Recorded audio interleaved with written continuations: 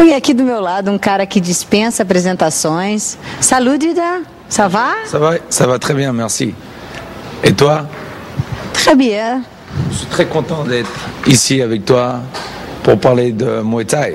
D'abord, une première mise au point, simple rappel. Je ne suis en aucun cas politicien tout au plus. Chroniqueur, simple reporter, tu m'entends, veux le virus de O que, que consiste esse teu seminário que você está fazendo aqui no Brasil? Je suis venu ici pour euh, rencontrer des boxeurs et des fans qui ont suivi ma carrière, mon film Chokdi, et je suis venu essayer de leur apporter un petit peu de d'expérience.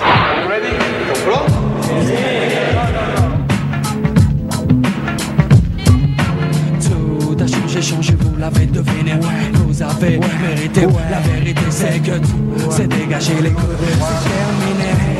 Je roule en cabriolet. Pas vraiment plus facile quand le chauffeur te prend à de circulation, pas de problème, je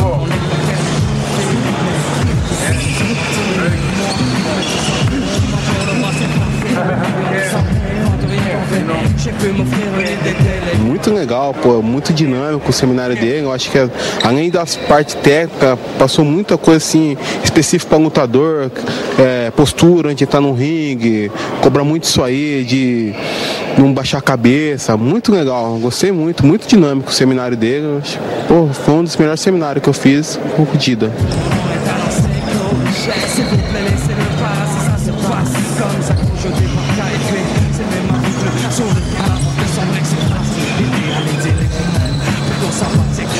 Gente está querendo que o Muay Thai cresça, é, trazendo ó, alguns ídolos, né? Que a gente só tem oportunidade de ver pela, pela, pela TV, né? Você se introduziu no esporte. Par hasard, comme ça, je suis tombé sur euh, une personne qui m'a parlé de boxe thaï et je suis, tombé, je suis tombé amoureux de, de, de ce sport. Parce que je trouve que ce sport, c'est un beau complément. Euh, pied, poing, genou, coude. Et j'ai trouvé ça, waouh, j'ai adoré. Non, un petit peu dedans.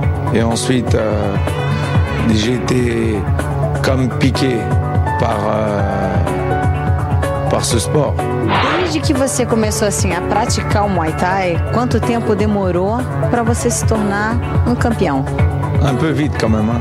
Au bout de deux ans, j'ai réussi à, à faire quelque chose de ma vie finalement. Esses dois anos foram aonde? Na Tailândia? Foram os dois anos que você passou por lá? En Thaïlande, ouais, deux ans, quasiment m'entraîner dans des camps à Bangkok, être très sérieux, euh, à manger, à boire, à dormir, à rêver de Muay Thai. Et euh, finalement, j'ai eu la chance d'arriver à toucher ce que j'avais dans mes rêves. Dois anos assim de um treinamento intenso na Tailândia tornaram esse cara aqui que está do meu lado 11 vezes campeão mundial de Muay Thai. Bom, para que eu me torne pelo menos uma vez, eu preciso de quanto tempo treinando? Pour toi, toute ta vie. Mais pour des gens qui euh, ont l'envie, mais pas l'envie de la bouche, l'envie du cœur, de réussir, pour tout le monde. Qual a sua relação com o país do Muay Thai, com a Tailândia? C'est un des pays que, que j'adore. C'est le pays qui a fait de moi aujourd'hui ce que je suis. Je dois beaucoup, beaucoup, beaucoup à la Thaïlande. J'aime les gens en Thaïlande. J'aime leur façon de vivre, leur façon d'être, souriant, gentil. Donc on peut être que touché par des gens comme ça et un pays comme ça. Aceitaram bem por lá? Quand tu arrives dans un pays et tu veux toucher ce qu'ils ont de plus précieux, comme le, comme le Muay à mon époque, hein, dans les années 90, début 90, c'était compliqué. Et euh, c'est vrai qu'il faut t'adapter, il faut s'adapter aux gens, il faut... Pour s'adapter, il faut apprendre la langue. Donc il a fallu que j'apprenne la langue. Et après, les choses se font naturellement. Você, anos se passaram, ganhou um prêmio super prestigiado na Tailândia, que é o Songchai. Conta pra gente qual a importância de receber um prêmio como esse. Songchai m'a remis le- un vase qui, euh, qui veut dire beaucoup de choses. Et il me l'a remis en me disant que j'étais un des noms thaïlandais à bien représenter le Muay Thai à travers le monde. Donc c'est une récompense qui m'a touché et j'en suis très fier. Quando você enfrentou o lendário holandês, o Ramon Dekkers, é, mesmo você vencendo, eu senti você ali impressionado com o cara. Eu tô errada? Pas impressionné, mais j'ai beaucoup, beaucoup de respect pour Ramon Dekkers, qui est pour moi un des, des meilleurs combattants la planète Muay Thai. C'est un garçon qui a apporté beaucoup, beaucoup pour le Muay Thai. Donc j'ai beaucoup de respect pour Ramon. Eu confesso a você que fiquei muito feliz de saber que você tem um projeto social juntamente com o governo francês. Conta pra gente é, do que se trata esse projeto. C'est quand, quand, quand tu as une carrière qui est bien établie et qu'en dehors de la carrière que tu as faite, les gens sentent que tu peux être un bon relais. Après, les gens te contactent.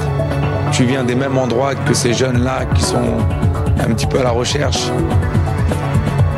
de faire des choses et d'aller les rencontrer, d'essayer d'avancer avec eux pour pouvoir leur amener une petite lumière sur un projet, que ce soit en sport, que ce soit sur d'autres choses. Et c'est des choses qui me tiennent vraiment à cœur de faire. Parce qu'aujourd'hui, en France et dans le monde entier, il y a beaucoup de, jeunes qui ont la vraie énergie. Mais bien souvent, cette énergie, elle est euh, malheureusement, elle est pas toujours bien utilisée. Un petit peu négativement. Donc, euh, on essaye d'être positif et d'aller les rencontrer. Les jeunes, ils vont plus m'écouter moi parce qu'ils savent que je viens du même ghetto que. Donc, je peux leur expliquer les choses. Ils savent que je suis pas là pour leur, leur mentir ou de leur vendre une histoire. J'essaye d'essayer, j'essaye de les emmener dans une autre réflexion, à savoir, faut pas gâcher ta vie.